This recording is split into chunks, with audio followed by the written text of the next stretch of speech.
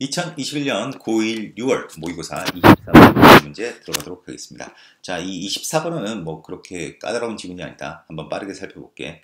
자, 사람들이 생각할 때 뭐에 대해서 생각하느냐? 도시의 어떤 발달에 대해서 사람들이 생각할 때 해놓고 요거 이제 이 어법에 있어서 조심해야 되는 부분이야. rarely.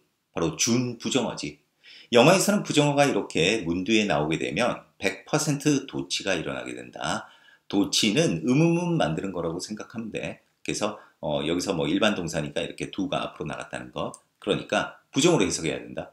사람들은 거의 고려하지 않습니다. 자, 뭐를 어떤 수직 수송에 또는 수직 운송의 중요한 역할을 고려하지 않는다는 거야.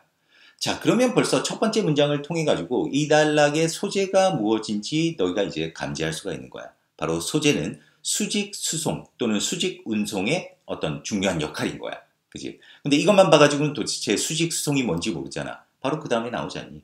자, 실제로 매일, 어, 70억 회 이상의 엘리베이터 여행이, 이 얘기는 엘리베이터 이동이. 그럼 딱 나왔네. 수직 수송이 뭐니? 바로 엘리베이터네, 엘리베이터. 자, 그것이 are taken, 취해진다는 거야. 높은 빌딩에서. 그러니까 전 세계 높은 빌딩에서, 어? 거의 70억 회 이상의 이상의 엘리베이터 이동이 있다라는 거지 매일.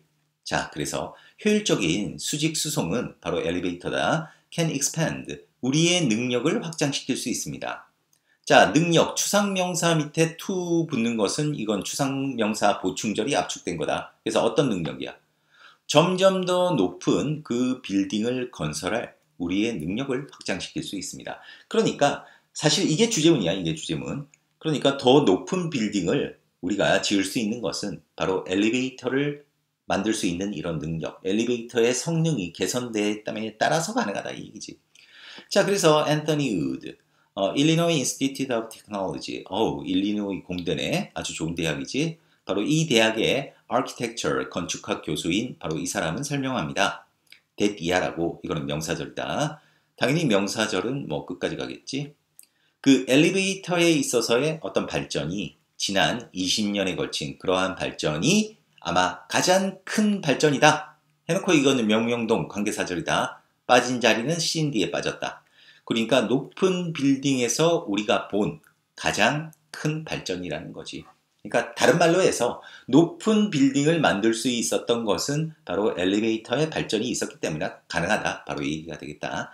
그래서 뭐 얘가 들어가는 거야. 예를 들어 어, elevators. 바로 그 사우디 어, 제다에 있는 제다 타워에 있는 어, 그러한 엘리베이터는 근데 그것이 under construction 건설 중이래. 이 건설 중인 엘리베이터는 will reach 어, 기록적인 높이 660m라는 기록적인 높이에 도달할 것입니다. 이렇게 되겠네. 자, 어법에 있어서 선생님이 reach를 표시한 이유는 뭐냐 하면 이 reach는 대표적인 타동사야. 그러니까 타동사라 소리는 무슨 얘기냐면 전치사가 필요 없어. 예를 들어서 이거 어법에 틀리게 되면 어떻게 되냐면 reach 뒤에다가 막 at 이런 걸 적어 놓는단 말이야. 그럼 틀려 이게. 이게. 그래서 이 reach는 전치사가 붙으면 안 돼. 이게 타동사기 때문에. 어, 그래서 이 부분. 그래서 어법에 있어서 주로 rarely 이 부정어구와 reach 이 정도 뭐 조심하면 뭐 나머지 부분에서는 뭐 그렇게 까다로운 것도 없었고 그리고 뭐 제목은 이제 간단하지. 뭐야? 빌딩을 하늘에로 더 가깝게 가져간다. 엘리베이터가. 엘리베이터가 빌딩을 더 하늘에 가깝게 가져간다. 바로 1번이 답이라고 하겠습니다. 뭐 그렇게 까다로운 집은 아니니까 너희들이 좀 봤으면 좋겠는데 혹시 만일 나온다 그러면 뭐 이거 내는 거는 만일 주관식으로 이제 부정어구 도치 부분 아니면 우리 연결사 문제 왜냐하면 연결사로 in fact 그 다음에 for example 바로 이 부분이 있으니까 오히려 뭐 순서 문장 넣기 뭐 이거보다는 그냥 연결사 문제에 있어서 대비 철저히 하도록 했으면 좋겠습니다. 자 그러면 24번 여기서 마무리하겠습니다. 수고했습니다.